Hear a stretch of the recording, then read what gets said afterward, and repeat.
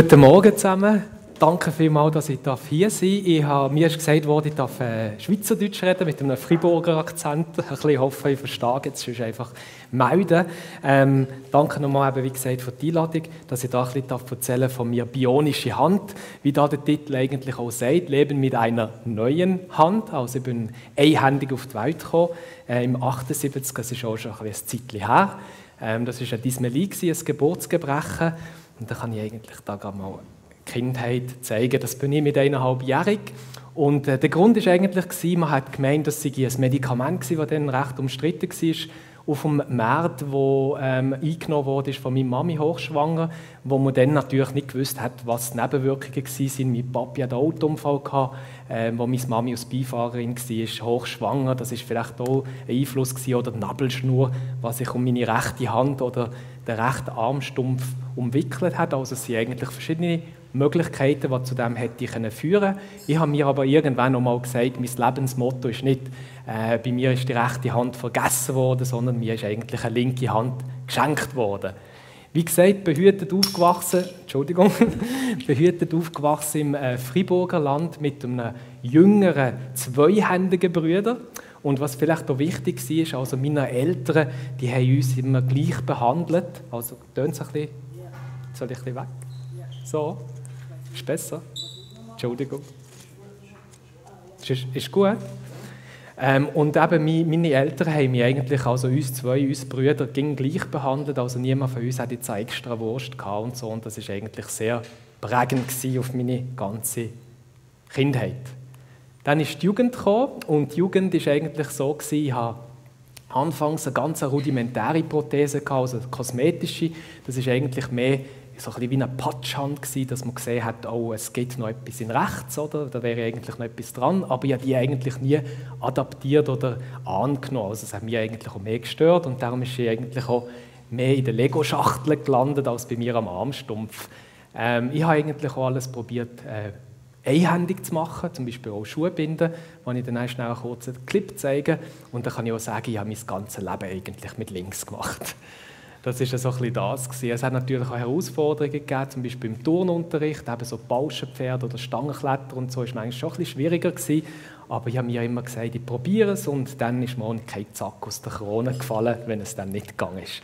Jetzt könnt ihr vielleicht, ja, bitteschön, jetzt ähm, vielleicht kurz einen Clip, wie ich so die Schuhe gebunden habe, mit einhändig Schuhe binden oder das, ja genau, das ist auch so, genau. Dann, dann sehen wir eigentlich, das ist wirklich, wenn ich, wenn ich die Hand nicht anhabe, habe ich nur einen Armstumpf, ich habe zwar das Handgelenk nach wie vor dran und das geht eigentlich recht zackig und das war auch am Morgen früh, gewesen, natürlich noch so halb wach. Und äh, ich habe mich eigentlich wirklich all die Jahre mich probiert zu arrangieren und dass das auch wirklich geklappt hat und das ist eigentlich recht gut und zügig gegangen. Auf der anderen Seite habe ich natürlich auch, also es ist jetzt nicht gerade unbedingt, dass ich gerne den Abwasch mache, aber ich habe mir auch irgendwie mit Gläsern hat sich das natürlich super geeignet, der Armstumpf. Ich bin fast prädestiniert, um eine lebendige Geschirrwaschmaschine zu sein, oder? Und das ist natürlich irgendwo, bin ich bei meinen Eltern, bin ich natürlich immer der der gesagt hat, Michel, du musst noch Weingläser abtrocknen oder ab Genau, das war so ein das. Gewesen. Also ich habe eigentlich auch immer probiert, das so ein mit Humor zu nehmen, das Ganze. Genau. Und, ähm, genau. und dann ist natürlich irgendwann einmal die Pubertät gekommen. Klar, da bin ich jetzt nicht unbedingt noch in der Pubertät, gewesen, aber das haben wir so ein bisschen gesehen mit der Gipshand. Und irgendwann sind natürlich die Mädchen wichtiger als die Lego, oder? Und dann sind die ersten Dates gekommen. Und dann bin ich irgendwie ganz nervös gewesen. Ja, wie reagieren die Leute auf mich? Wie reagieren die Leute auf mein Handicap? Und ich weiß noch, als ich das allererste Treffen hatte mit, ähm, mit einem Mädchen vom Nachbardorf, das natürlich das nicht gewusst hat, dass ich keine Hand habe, habe ich mit dem Orthopäd zusammen eine Gipshand bastelt. Und dann bin ich an das erste Date und habe gesagt, ja, ich sei beim Skateboarden umgekehrt oder beim Snowboarden. Und das ist natürlich sehr gut angekommen, so ein bisschen mitleidig, oder, oh, du Arme. Und irgendwann, äh, nach zwei, drei Wochen oder nach einem Monat, haben wir natürlich müssen sagen, oder? Ich meine, sonst hätten sie gedacht, hm, das ist ein bisschen suspekt, oder? Ist der wirklich so schlecht beim, beim Skateboard, oder was ist mit dem los? Und sie hat eigentlich sehr positiv reagiert. Also sie hat auch gesagt, ähm, ich liebe dich so, wie du bist, ob du jetzt drei Augen hast oder eine Hand, und das spielt mir eigentlich keine Rolle. Und das hat mich eigentlich sehr geprägt für das Weiterleben. Genau. Und äh, ja, Und dann ist das Erwachsensein, Entschuldigung, das Erwachsensein gekommen. Und es gibt ein ganz cooles Burger-Restaurant in London, gerade beim Millennium Eye, vielleicht der eine oder andere kennt es. Und den Spruch habe ich eigentlich super gefunden. Und der heißt Look Mom, no hand. Und das ist eigentlich mehr von freihändig Velofahren gedacht, aber ich denke, das passt jetzt wirklich super zu dem, ich habe also gerade fotografiert und ich bin eigentlich nicht immer so einfach und locker damit umgegangen mit dem Handicap. Also ich habe es lange, lange Zeit immer versteckt. Also ich habe mich geschämt, ist sicher das falsche Wort, aber ich habe mich irgendwie halt äh, nicht wohl gefühlt damit und habe es immer ein bisschen versteckt in der Hosentasche oder die Jacke drüber gelegt oder irgendwie beim Fotografieren ist immer so eine Blumenvase per Zufall oder eine Flasche per Zufall vor dran gewesen. Und irgendwann habe ich auch gesagt, irgendwie bin ich müde geworden, müde immer das zu verstecken, das Handicap. Und dann habe ich am Sonntagnachmittag, das weiß ich noch, und das ist nicht so ein Sonntagnachmittag, es regnet und ich mache jetzt eine Facebook-Post-Aktion, sondern es ist wirklich sehr emotional von mir. Und ich habe das lange überlegt, wie ich das mein Outing machen will. Wie ich es wirklich sehr clever immer versteckt. Also es sind viele Leute, die haben es nicht gewusst, dass ich äh, keine Hand habe. Und, äh, und dann habe ich gesagt, ich mache jetzt einen Facebook-Post und dann habe ich das Bild, das ich anfangs gesagt, eingangs gesagt, gezeigt habe, mit dem Bübli eh aus eineinhalbjährigen, habe ich gesagt, ähm, eben, mir fehlt eine Hand und äh, das ist halt jetzt so und ich bin wegen dem nicht besser oder schlechter. Entschuldigung, jetzt tue ich und, und irgendwo ist das so ein emotionales und so ein beflügelndes Feedback von diesen Kollegen. Klar, meine Kollegen, die mich, die mich kennt haben von der Schule, haben es natürlich gewusst. Aber die anderen haben so gesagt, ja, und du musst dich doch nicht verstecken und das ist doch nicht schlimm. Und das hat mir eigentlich auch extrem geholfen und, und gedreht und, und mir geholfen, therapeutisch ja, zum, zum mich öffnen. Und dann habe ich eigentlich, vielleicht könnt ihr so lesen, habe ich eigentlich auch wie Freude geschlossen mit meinem Armstumpf. Also ich habe mich, und das ist sehr emotional von mir. Und äh, ich habe eigentlich auch gesagt, ich, habe mich, ich entschuldige mich in aller Form für all die Jahre, die ich eigentlich versteckt habe oder, oder die verstoßen und du bist doch ein Teil von mir und du bereicherst mein Leben extrem. Und das ist ein, sehr wichtiger, sehr emotionaler Schritt gewesen, auch um mich zu öffnen für meine Mitmenschen. Genau, und dann hat es natürlich, ich habe eine ganz gute Freundin von, von Wien und die ist Schneiderin, gelernte Schneiderin und die tut mir immer so Kostümli schneidern, oder? Und zum Beispiel Engelskostüm oder der Superman und so. Und ich habe auch Petit Prince, ich bin ein ganz großer Petit Prince-Fan, also ich habe das Petit Prince-Kostüm. Und ich muss sagen, also mein kleiner Armstumpf hat momentan fast mehr Kleider im Kleiderschrank als ich. Also ganz viel und äh, das hat mir einfach auch geholfen, mich zu öffnen und irgendwo auch offener auf Leute zuzugehen. Ähm, das war noch der was ich gesehen habe, äh, soll ich schnell das Mikrofon schon schnell oder tut es fest oder geht's? Ist gut, sonst einfach sagen. Und ich habe, äh, ist gut, okay. Und ich habe einen, einen guten Kollegen, der jetzt ein Kollege geworden ist von mir, hat das Fernsehporträt im RTL, im Spiegel TV, im deutschen Fernsehen und der hat eben die bionische Hand gedreht. Und wenn ich das zuerst mal gesehen habe, bin ich förmlich vom Sofa gefallen, weil das ist so etwas Faszinierendes und so etwas fast so ein Science-Fiction-mäßiges. Und dann habe ich dann geschrieben im RTL und das ist ein bisschen länger gegangen, aber irgendwann habe ich noch getroffen in Zürich, hat in Zürich doziert. Und das ist einfach wirklich so ein fast ein metaphysischer Moment gewesen, wo ich zuerst mal die Handprothese gesehen habe und gesagt, das ist jetzt wirklich die Hand, die ich mich identifizieren mit, die ich adaptieren kann, die ich annehme und nicht irgendwie so hautfarbene Klümpen, die ich da am Armstumpf gedreht habe. Und das ist eigentlich so, ist es zustande gekommen, das Ganze. Und jetzt vielleicht ein bisschen etwas zu der bionischen Handprothese. Also es ist momentan so ein bisschen State of the Art, was es in dem Prothesenmarkt gibt. Und das funktioniert eigentlich folgendermaßen: Die Prothese hat im Armschaft, also im Schaft, hat sie zwei Elektroden, oben und unten, also Extendor und Flexor heißen die. Und die kann ich eigentlich bewegen mit dem Armstumpf. Also ich kann das Handgelenk nach wie vor bewegen. Und das macht eigentlich, dass die Hand auf und zu geht, oder? Und wie auf und zu bisschen langweilig ist, gibt es natürlich noch ein paar Tricks. Und die Tricks hat es im Smartphone, habe ich 25 verschiedene Griffmuster. Und mit diesen 25 verschiedenen Griffmustern kann ich drei definieren. Also ich kann beispielsweise einen Handschlag definieren. Wenn es zum Beispiel eine Doppelkontraktion im Armstumpf gibt, tut das den Handschlag aktivieren. Oder zum Beispiel ein Banksettengriff, das ist ganz äh, gäbig, zum Beispiel, wenn man im Kino ist, zum Popcorn klüben. Oder beispielsweise äh, Indexfinger nach vorne zum Tastatur, dann habe ich wenigstens ein Sechsfingersystem, das besser ist als ein Fünffinger, das ist zwar nicht ein Zehn, aber nichtsdestotrotz. Und das ist eigentlich sehr hilfreich und ich kann von diesen 25 Griffmuster drei definieren, die ich wirklich jeden Tag so kann brauchen und mit Muskelimpulsen steuern tun. Was ich auch noch vielleicht möchte sagen ist, ich habe bewusst transparent Handschuhe gewählt. Also es gibt auch einen hautfarbenen Handschuh, das ist ein Silikon, der Schaft ist aus Carbon. Also dort sieht man ähm, die drei verschiedenen Armschäfte, die ich habe, einen transparenten, so einen grün-gelben und, und, und, und äh, verchromten.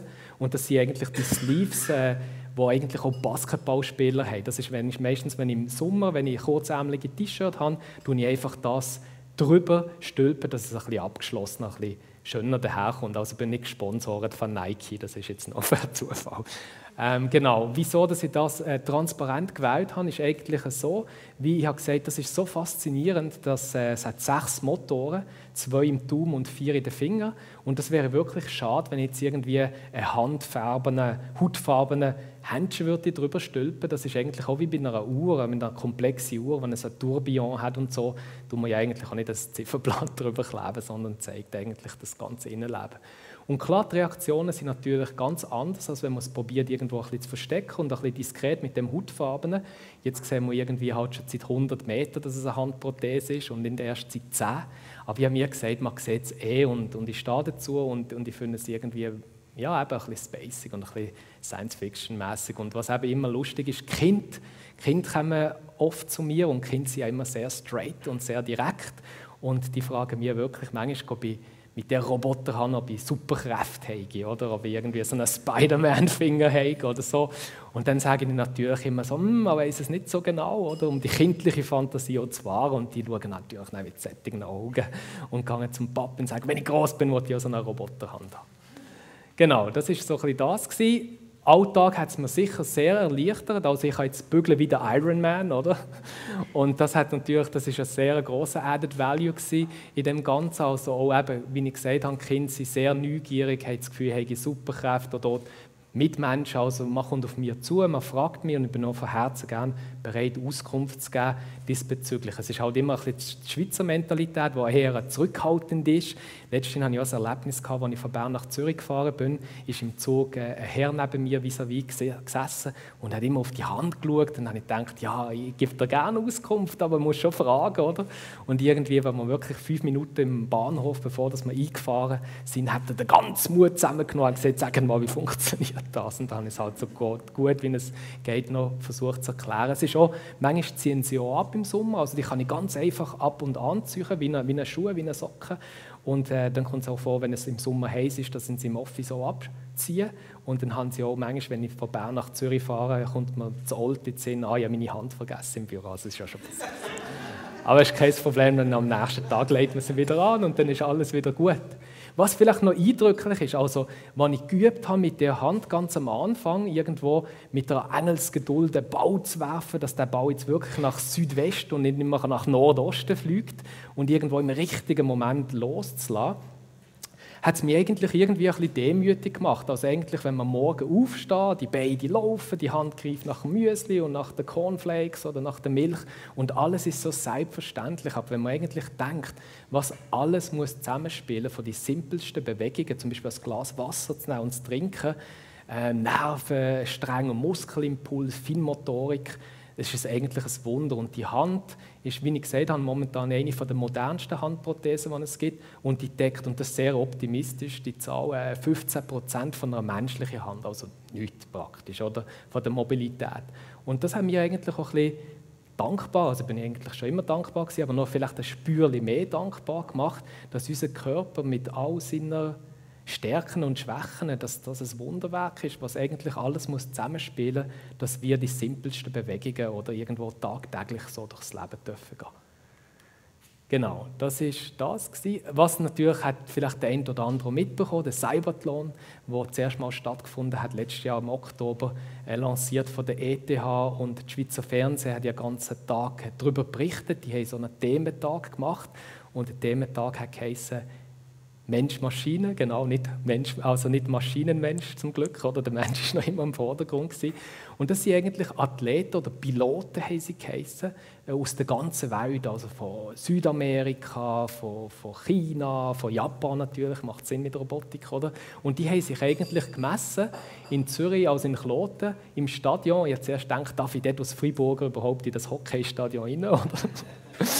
Und äh, das ist wirklich ein sehr eindrückliches äh, Erlebnis gewesen, sehr ein eindrücklicher Moment. Also es hat wirklich Leute mit Beinprothesen, die sich gemessen haben. Und zuerst habe ich gedacht, ja, das ist so ein bisschen der olympische Gedanke. Dabei sein ist alles, aber die sind wirklich sehr ehrgeizig gewesen. und die ganzen Labore oder DTH und die ganzen, die ganzen Forschungszentren, die sind auch wirklich ehrgeizig gewesen, zueinander äh, messen und dass da wirklich das Bestmöglichste rausgeholt wird. Und ähm, eben internationale Team vom Schweizer Fernsehen mit dem Tobias Müller äh, co-moderiert und das ist wirklich ein extrem schönes Erlebnis gewesen. Der nächste äh, Cyberthlon ist geplant in Tokio. Also es ist eigentlich alle vier Jahre, also vier Jahre ist der Cyber mit der Olympiade und eigentlich alle Jahr, acht Jahre sind es wieder zurückgekommen nach Zürich, was ich eigentlich noch schön finde. Am Rand von dem ganzen Cyberthlon, wenn ich den Knopf finde da, genau, am Rand, Entschuldigung, Genau, am Rand von dem ganzen Cyberthlon, also sind eigentlich die Herzensprojekte, die ich auch machen darf, ähm, die Herzensangelegenheit, haben wir dürfen den Lionel ähm, überraschen. Der Lionel ist ein siebenjähriger Bub aus dem Luzernischen. Er hat keine linke Hand, ist so, so auf die Welt gekommen und ich habe mich natürlich in ihm immer wieder erkannt und, und auch meine ganze Kindheit war so ein, ein Déjà-vu bei ihm und wir haben ihn dürfen überraschen ähm, an einem Tag vor dem Cyberthlon und wir haben eine Hand bastelt aus einem 3D-Drucker. Und die Hand aus dem 3D-Druck und der Lionel hat natürlich gesagt, die müsste auch ein bisschen poppig daherkommen, ein bisschen leuchtig, oder? Dem ist sie so leuchtgrün, das ist seine Lieblingsfarbe. Wir haben auch gewisse Elemente eingebaut, die im Dunkeln leuchten. Das ist natürlich viel wichtiger als zehn Funktionen oder, von Kind. Äh, und er ist fast nicht mehr aus dem Keller rausgekommen mit, dem, mit seiner Gespendli von lauter äh, leuchtender Hand. Und da gibt es jetzt eben ganz einen kleinen äh, Film, äh, darüber, den ich euch kurz möchte zeigen vom Lionel. Und äh, darf ich schnell bitte? Das ist vom Schweizer Fernsehen und er geht vielleicht so fünf Minuten, aber es zeigt eigentlich so ein bisschen einen Einblick in Technik. Und da denke ich mir, macht Technik auch Sinn, wenn man irgendwo Menschen kann helfen kann, sei es jetzt im Lionel mit einem, mit einem Geburtsgebrechen, wo er irgendwie in die Schule viel einfacher damit umgeht und viel mehr integriert wird als im Umfeld. Genau. Dankeschön. Darf ich schnell absitzen? Merci. Prothese als Schutz vor einer einseitigen Überbelastung vom Körper. Und darum macht es Sinn, sich schon so früh wie möglich an eine Prothese zu gewöhnen, im besten Fall schon als Kind. Aber da gibt es jetzt ein Problem. Nämlich, ein Kind das wächst schnell und wächst immer wieder zur Prothese raus. Und weil so eine Prothese 50.000 bis 70.000 Franken kostet, kann sich das natürlich auch nicht leisten. Aber jetzt gibt es eine Möglichkeit, die in der Schweiz noch kaum genutzt wird. Eine Prothese aus einem 3D-Drucker. Ja, Sie haben richtig gehört. Wir haben so eine ausgedruckt für den kleinen Lionel. Michel Fornacier, selbst ohne rechte Hand zur Welt gekommen, überrascht heute den sechsjährigen Kindergärtler Lionel aus dem luzernischen Neuenkirch. Hallo. Lionel ist ebenfalls ohne Hand geboren und meistert sein Leben einhändig. Einzig beim Fahrradfahren hilft ihm eine Art verlängerter Arm mit Haken, aber eben nur zum Fahrradfahren. Heute erhält Lionel von seinem Vorbild Michel zum ersten Mal überhaupt eine Handprothese. Eine aus dem 3D-Drucker. Fertig gedruckt wurde sie erst einen Tag zuvor in einem 3D-Druckershop in Zürich.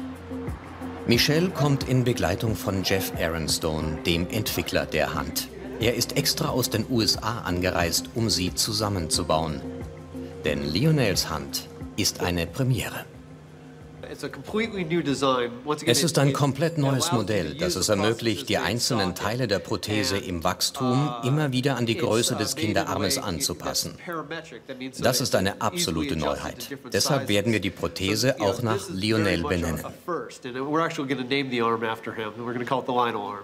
Jeff ist Orthopäde und investiert einen großen Teil seiner Freizeit in die E-Nable Community, ein Netzwerk von über 8000 freiwilligen Designern, Orthopäden oder 3D-Druckerbesitzern auf der ganzen Welt, die Prothesen für Kinder entwickeln, kostenlos.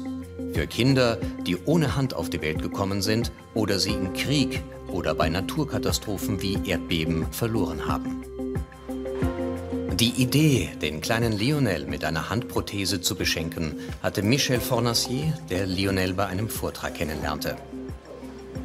Nick Schulz, der Geschäftsführer des 3D-Druckershops in Zürich, musste keine Sekunde überlegen, beim Projekt mitzumachen. So, und der letzte Finger ist gedruckt. Faszination, wenn, wenn Technik äh, einen Nutzen bringt für den Mensch, wenn irgendwo ein medizinischer Aspekt hineinkommt, finde ich Sensation. Ich finde, dort äh, kommt der wahre Nutzen raus und das sind die spannenden Projekte. Während zwei Tagen waren die Maschinen nonstop im Einsatz und haben in Schichten von 0,1 mm jedes der 35 Einzelteile für Lionels Hand gedruckt. Aus hautverträglichem Kunststoff. 3D-printing uses beim 3D-Druck werden Prothesen komplett digital entworfen. Ich kann also von den USA aus ganz einfach mit Leuten in der Schweiz zusammenarbeiten. Lionel habe ich vorher nie getroffen. Er kam hier im Shop vorbei und hat seinen Arm scannen lassen. Der Shop hat mir dann diese Daten geschickt und damit konnte ich die Prothese mit einem anderen Designer aus den USA für Lionel entwerfen. Das fertige Design mailte ich einfach wieder hierher. Eine solche Form von Zusammenarbeit ist unglaublich toll und massiv günstiger. Also Die Handteile wiegen zusammen nicht mehr als 250 Gramm. Materialkosten weniger als 10 Schweizer Franken. Inklusive Design- und Druckkosten wäre Lionels Hand für 3000 Franken zu haben, etwa für die Hälfte von klassischen Prothesenmodellen. Als Kind hatte Michel Fornacier auch eine künstliche Hand, eine schwere, hautfarbene. Die nahm er deshalb eher als Fremdkörper wahr. Sie lag die meiste Zeit in einer Ecke im Kinderzimmer. Wie und besonders Kinder, die sprechen mehr auf das Farben gehen und die wollen eigentlich nicht eine eins zu eins Abbildung von der linken oder rechten Hand, die vorhanden ist, sondern die wollen eigentlich etwas ein bisschen Spaciges, ein bisschen Poppiges und ein bisschen etwas, was sie von anderen Kindern unterscheidet. Done. wow. Nach fünf Stunden Schrauben und Leimen ist es soweit. Lionels Arm ist fertig.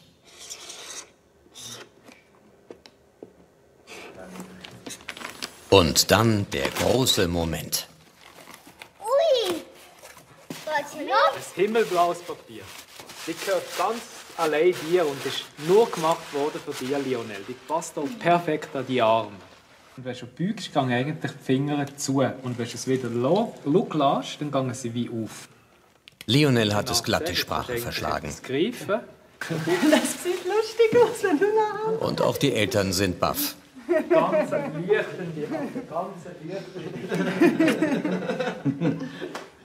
Kannst du dich damit am Kopf kratzen? Probier's mal. Am Kopf kratzen, Handshakes oder mit den Lieblingsgegenständen spielen. Das geht bald auch mit links. Auch wenn die Prothese noch nicht so funktioniert, wie sie sollte.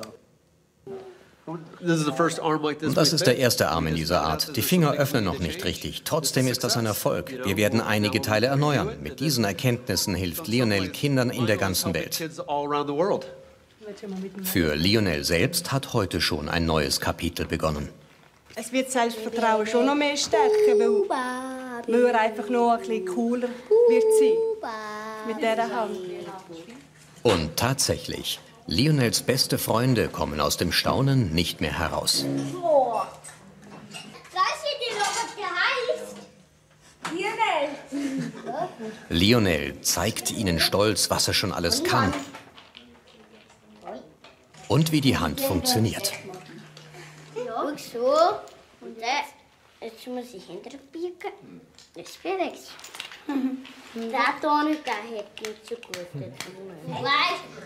Dafür gefällt Lionel der blaue Finger umso besser.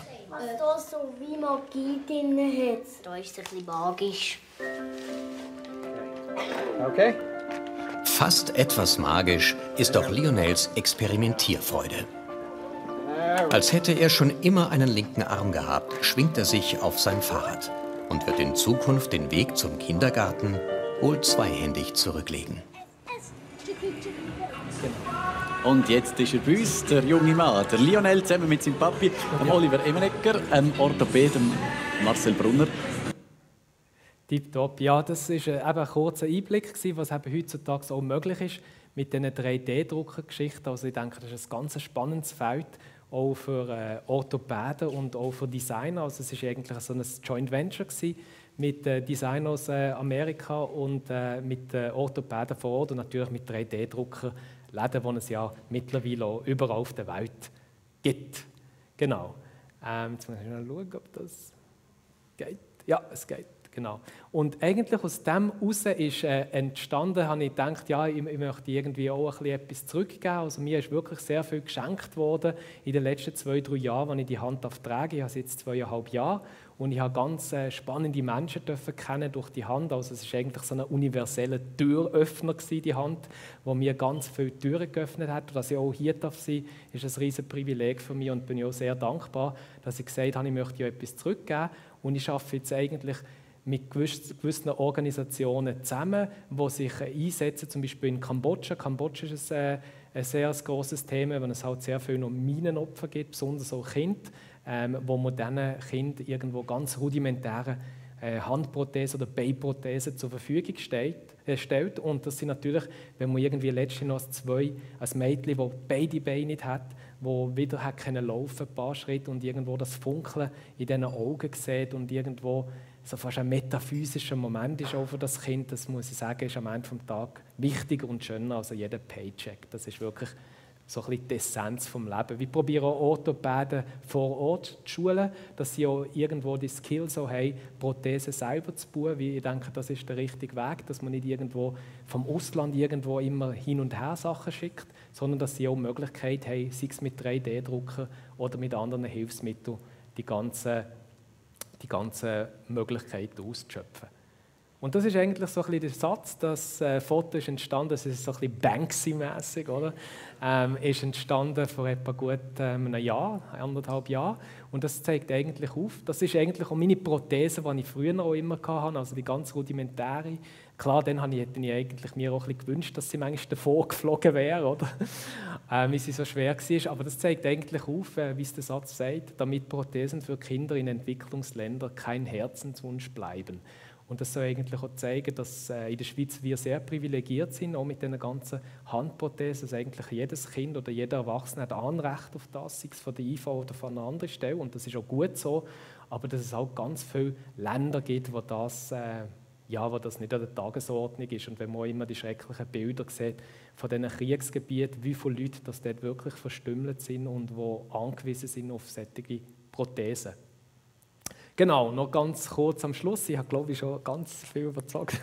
ähm, ich habe, wie ich eben in Rütti wohnhaft bin oder in, in Rapperswil und nach Bern, ich arbeite momentan bei Amnesty International, ähm, habe ich immer einen recht langen Weg gehabt, oder?